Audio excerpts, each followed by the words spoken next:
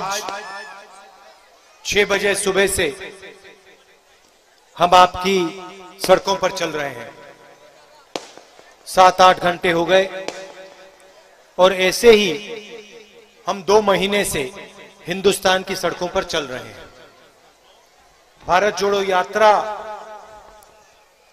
कन्याकुमारी में शुरू हुई और अब महाराष्ट्र विदर्भ से निकल रही। है सात आठ घंटे हम चलते हैं। आपकी बात सुनते हैं। जो भी आना चाहता है, हम किसी को रोकते नहीं। चाहे वो किसान हो, मजदूर हो, छोटा व्यापारी हो, माता, बहन, बच्चा, युवा, जो भी हो, अगर हमसे बात करना चाहता है तो हम उसको बात करने देते हैं, उसकी बात सुनते हैं।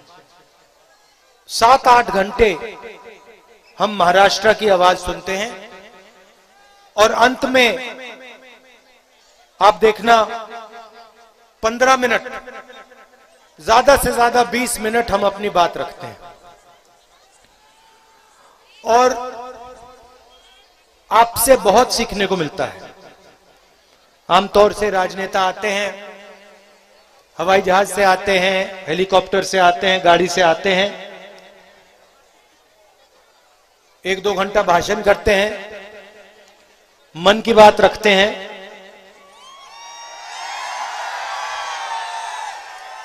हमारा तरीका दूसरा है,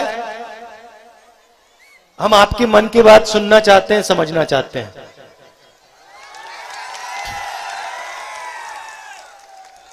तो सबसे पहले मैं आपका धन्यवाद करना चाहता हूँ। देखिए 3500 किलोमीटर चलना वे थोड़ा पीछे हो जाए 3500 किलोमीटर, नहीं, वो मुझे दिखाई नहीं दे रहे थे।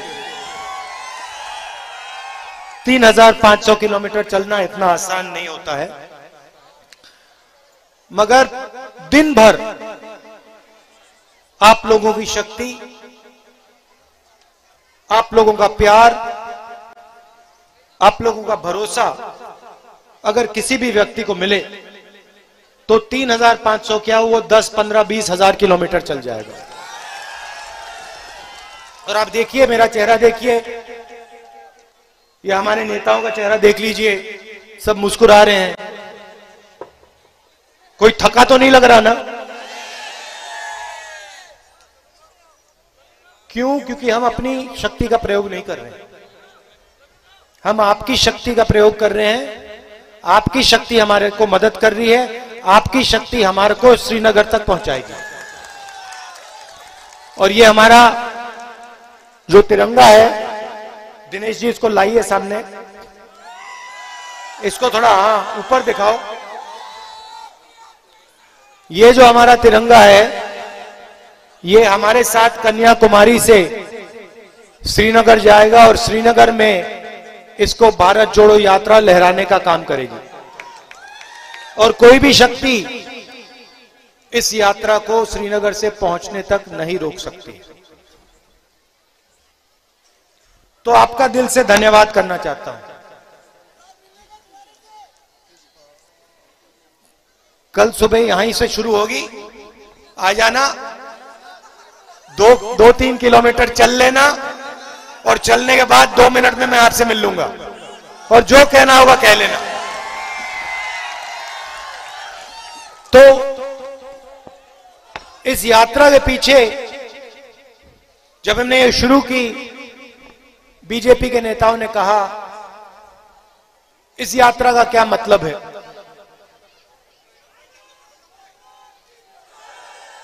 क्या मतलब है? तो मैं उनको उनको खैर नहीं, आपको इस यात्रा का मतलब और लक्ष्य दो लाइन में, दो मिनट में बता देता हूँ। देखिए, हर प्रदेश में, चाहे वो केरला हो, महाराष्ट्र हो, हर प्रदेश को, उस प्रदेश के, देश के महापुरुषों ने रास्ता दिखाने का काम किया था। सही बात है? महाराष्ट्र को और हिंदुस्तान को, सिर्फ़ महाराष्ट्र को नहीं, हिंदुस्तान को। छत्रपति शिवाजी महाराज, बाबा साहब अंबेडकर, महात्मा फूले साहू जी महाराज इन्होंने रास्ता दिखाने का काम किया था। सही? अब आप मुझे बताओ, इनमें से किसी ने नफरत फैलाने की बात की थी? क्या शिवाजी महाराज ने यह कहा था कि गरीबों को मारना है, कुचलना है? नहीं। अंबेडकर जी ने, फूले जी ने, साहू महाराज जी ने, शिवाजी महाराज जी ने जोड़ने की बात की थी, भाईचारे की बात की थी, नफरत की बात तो नहीं की ना? तो यही इस यात्रा का लक्ष्य।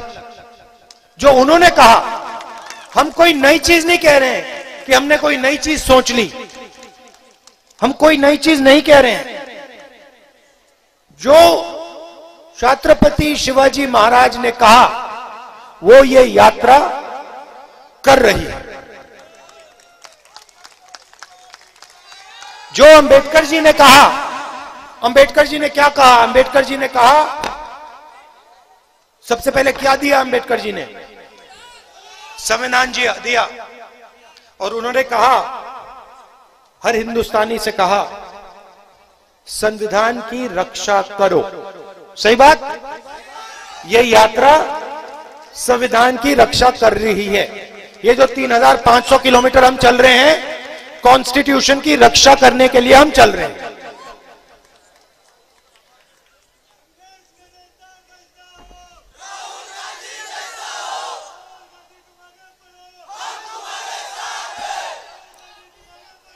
और इसको, इस यात्रा इस यात्रा की मदद आप लोग कर रहे हो। इसका मतलब जो शिवाजी महाराज जी ने कहा, जो अंबेडकर जी ने कहा, जो साहू जी ने, साहू महाराज जी ने, फूले जी ने कहा, वही काम आप सब कर रहे हो। जब आप हमारी मदद कर रहे हो, जब आप हमारे साथ चल रहे हो, ये काम आप कर रहे हो। अब देखिए, दूसरी चीज़ बताता हूँ। अब ये यात्रा कितने दिन? सत्तर दिन हो गए तकरीबन। सत्तर दिन हो गए। और इस यात्रा में लाखों लोग चले हैं। लाखों चले हैं। इस यात्रा में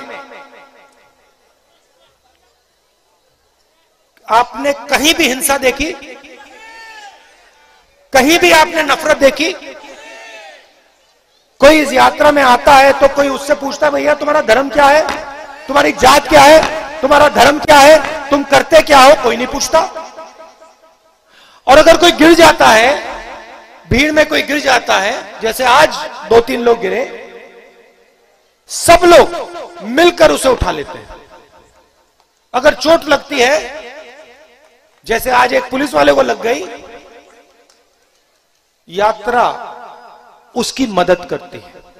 मतलब यात्रा किसी को पीछे नहीं छोड़ती।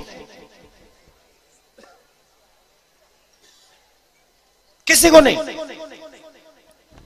किसान चल रहा है, किसान को पीछे नहीं छोड़ेगी। मजदूर चल रहा है, मजदूर को पीछे नहीं छोड़ेगी। युवा चल रहा है, युवा को पीछे नहीं छोड़ेगी, माता, बहन चल रही है, उनको पीछे नहीं छोड़ेगी। यही भाइयों और बहनों है सच्चा हिंदुस्तान। जो किसी को पीछे नहीं छोड़ता, सबको अपना मानता है, और अगर कोई गिरता है तो एकदम उसकी मदद करता है। अब दिल्ली में देशभक्त बैठे हैं, महाराष्ट्र में देशभक्त बैठे हैं, उधर नरेंद्र मोदी जी और इधर, पता नहीं इनको कौन सी पार्टी का कहा जाए, क्या कहा जाए।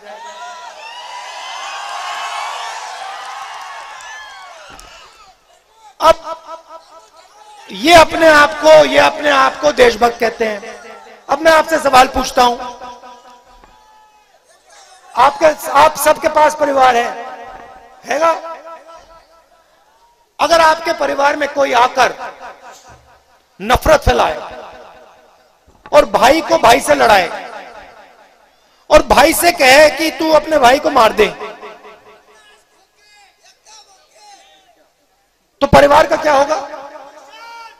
फ़ायदा, नुकसान। फ़ायदा, नुकसान। नुकसान। तो अगर परिवार को तोड़ने से परिवार का नुकसान होगा, परिवार में नफरत फैलाने से परिवार कमज़ोर होगा भाई भाई को मारता है तो परिवार कमज़ोर होता है तो फिर अगर भाई भाई को मारेगा,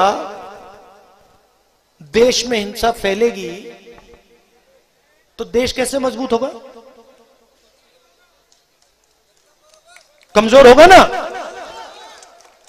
अच्छा एक और बात बताओ। अगर परिवार में जो परिवार को भोजन खिलाता है जो परिवार की रीढ़ की हड्डी होती है।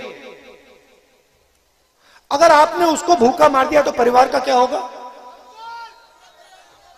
पूरा परिवार खत्म हो जाएगा। तो अगर आपने अगर हिंदुस्तान के किसान को भूखा मार दिया तो हिंदुस्तान का क्या होगा? और आज हिंदुस्तान के किसान को भूखा मारा जा रहा है। बीजेपी की पॉलिसीज़ मार रही है। आप किसी भी किसान से पूछ लो। मैं हज़ारों से मिल चुका हूँ। सारे के सारे आपको कहते हैं, हमें सही दाम नहीं मिलता। हम बीमा बीमा भरते हैं, अपना पैसा डालते हैं, आंधी आती है, तूफ़ान आता है, खेत बर्बाद हो जाता है, हम कंपनी के पास जाते हैं उनका फ़ोन नंबर नहीं पता लगता। उनका एड्रेस नहीं है। आगे पीछे दौड़ते हैं। मगर बीमा का पैसा महाराष्ट्र और हिंदुस्तान के किसान को नहीं मिलता है।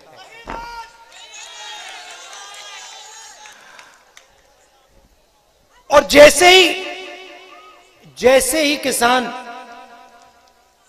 की फ़सल होती है जैसे ही बेचने का टाइम आता है, वैसे ही हिंदुस्तान की सरकार एक्सपोर्ट इंपोर्ट पॉलिसी को बदल देती है और किसान का जो दाम होता है उसको गिरा देती है। ठीक है? और आगे चलते हैं। किसान को डीजल की ज़रूरत होती है पेट्रोल की ज़रूरत होती है, गैस की ज़रूरत होती है खाना पकाने के लिए। गैस का क्या दाम था यूपीए के समय? चार सौ रुपए। आज क्या है? बारह सौ। पेट्रोल का क्या दाम था? साठ रुपए। आज क्या है? डीजल का क्या था? आज क्या है? यह पैसा किसकी जेब से निकल रहा है? किसान के जेब से निकल रहा है। तो इनका पूरा का पूरा लक्ष्य, जो देश की रीढ़ की हड्डी है, देश को भोजन देता है 24 घंटा काम करता है, सबसे पहला इनका लक्ष्य उसकी रीढ़ की हड्डी तोड़ने का है। उसको खत्म कर दो। फिर कहते हैं, हम देशभक्त हैं। जो किसान को बर्बाद कर रहा है, वो देशभक्त हो सकता है क्या? ठीक है, फिर नरेंद्र मोदी जी ने कहा काले धन के खिलाफ लड़ाई लड़नी है। आठ बजे रात को।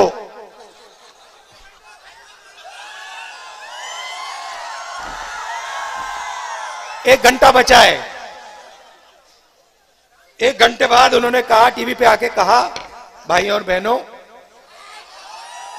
मैं मैं पाँच सौ रुपए और हज़ार रुपए का नोट रद्द करने जा रहा हूँ। अब देखो, उस टाइम कहा था, काले धन को मिटा दूँगा। अच्छा बताओ भैया, काला धन मिट गया क्या? पंद्रह लाख रुपए मिल गए क्या? ये जो नोटबंदी की इन्होंने, और ये जो गलत जीएसटी लागू की है ये पॉलिसी नहीं है। मनरेगा पॉलिसी थी। भोजन का अधिकार पॉलिसी थी। ये पॉलिसी नहीं है। ये जो दो कानून बनाए इन्होंने, ये जो हमारे छोटे व्यापारी हैं, जो स्मॉल और मीडियम मीडियम साइज़ बिज़नेस वाले हैं, इनको मारने के हथियार हैं। आप एक काम करना मीटिंग के बाद जब आप चाय की दुकान में जाओगे, वहाँ पे आप पूछना, या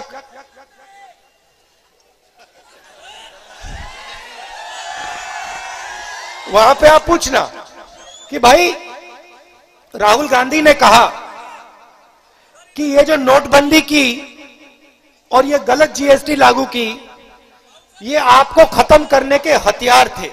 उससे पूछना। वो आपको जवाब दे देंगे। कोई भी दुकानदार,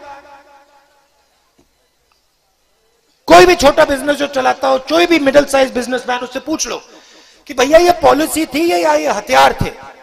और वो सब के सब आपको बताएँगे, ये हमें मारने के हथियार थे। और किसी भी किसान से पूछ लो, ये जो तीन काले कानून आए थे, ये पॉलिसी थी या ये आपको खत्म करने के हथियार थे, वो भी आपको बता देगा। पंज पंजाब हरियाणा, पंजाब के सब किसान बाहर आ गए। कहते हैं, हम नहीं मरना चाहते। खड़े हो गए, एक साल खड़े रहे।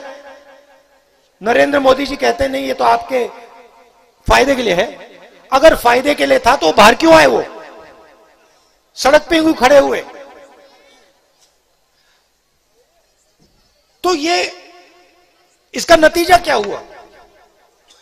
नतीजा यह हुआ कि जो भी छोटे व्यापारी होते हैं स्मॉल और मीडियम बिज़नेस चलाने वाले लोग होते हैं वो ही इस देश को रोज़गार देते हैं।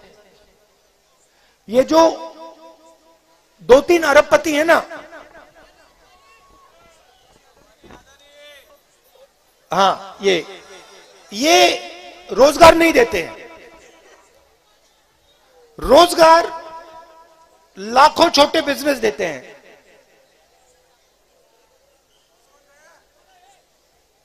इन्होंने क्या किया? इन दो हथियारों से ये जो रोज़गार की रीढ़ की हड्डी थी, इसको तोड़ दिया। और नतीजा क्या है? नतीजा है कि मैं कन्याकुमारी से यहाँ तक आया हूँ। और यहाँ पे जो भी युवा मुझे मिलता है, वो कहता है, भैया, मैं बेरोजगार हूँ। मुझे रोज़गार नहीं मिला। कहते हैं, मैं इंजीनियरिंग पढ़ी मैंने। मुझे मजदूरी करनी पड़ रही है। डॉक्टर बनना चाहता था। कोई आर्मी में जाना चाहता था। सब रास्ते नरेंद्र मोदी जी ने बंद कर दिए। पहले क्या होता था आर्मी में कितने साल के लिए जाते थे लोग?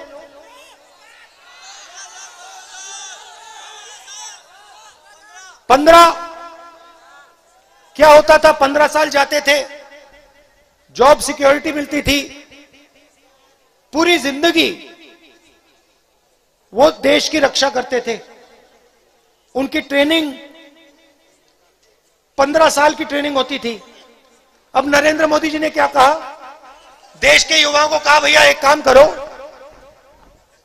छह महीने की ट्रेनिंग लो। और चार साल आर्मी में काम करो। अग्निवीर हो जाओ और उसके बाद हमेशा के लिए बेरोजगार हो जाओ।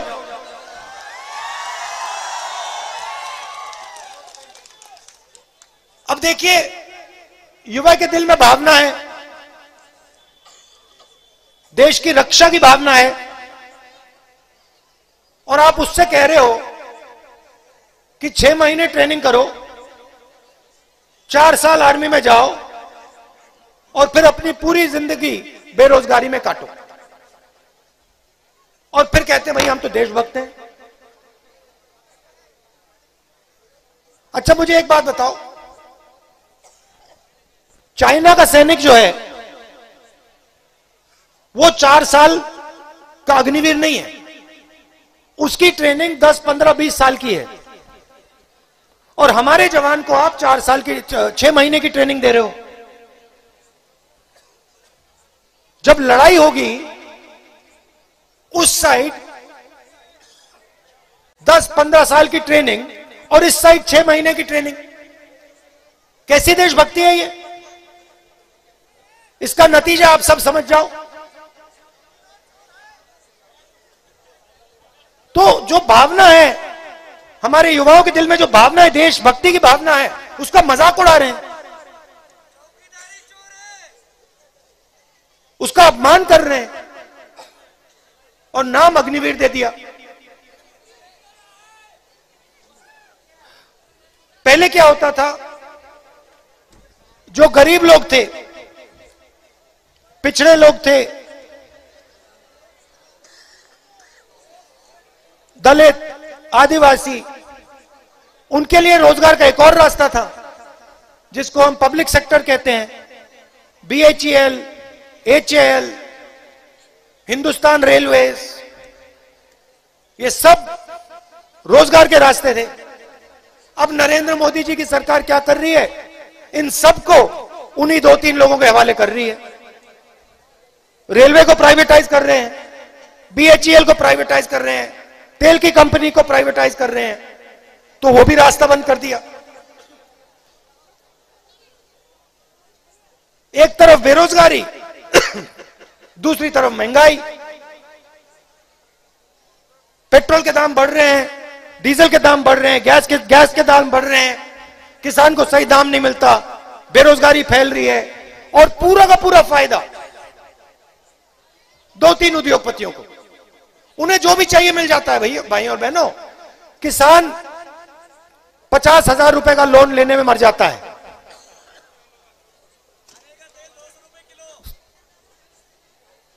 पचास हज़ार रुपए का लोन किसान को नहीं मिलता। इनको लाखों करोड़ रुपए का मिल जाता है। किसान का ये एक रुपया कर्जा माफ़ नहीं करते, उनका ये लाखों करोड़ रुपए कर्जा माफ़ कर देते हैं। इसलिए हमने ये यात्रा शुरू की है। कन्याकुमारी से कश्मीर। यह भारत को जोड़ने की यात्रा है।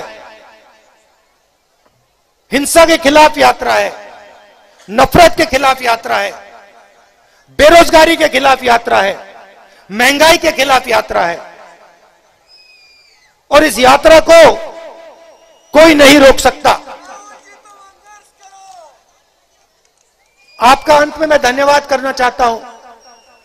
आपने अपनी पूरी मदद, पूरा दम, पूरा प्यार आपने हमारे को इस यात्रा में दिया।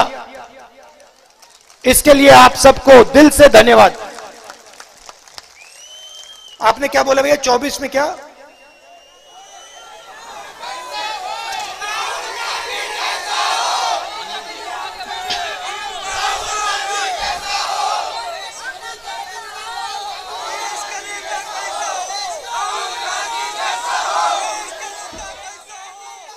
आप सबका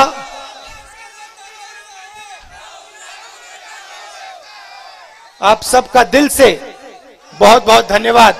नमस्कार जय हिंद।